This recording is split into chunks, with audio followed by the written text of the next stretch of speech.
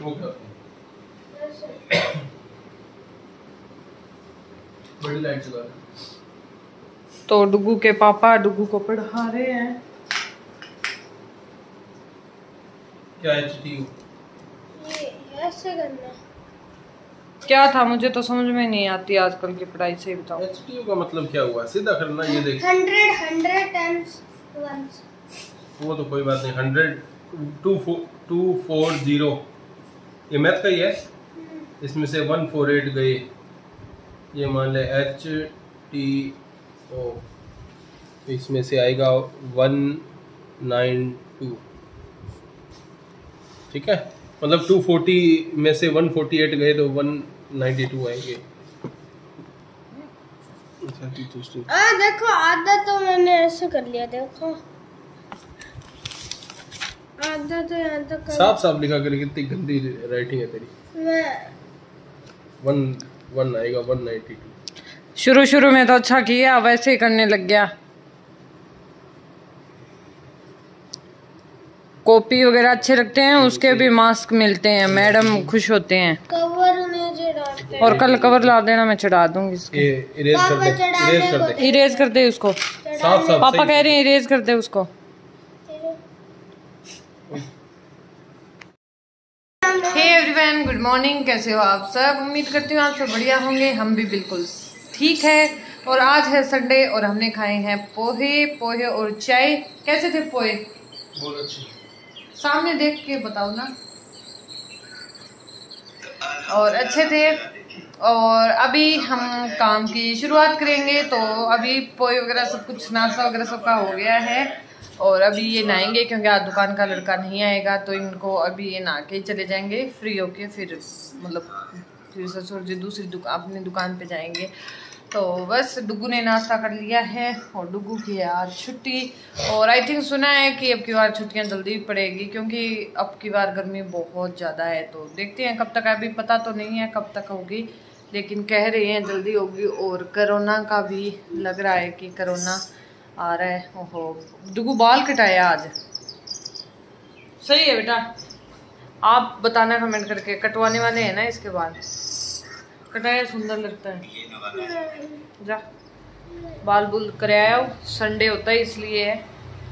और चलते हैं, शुरुआत करते हैं काम की। बाकी संडे को हमारा कुछ स्पेशल नहीं होता बोरिंग डे वो ही जाता है। चलो।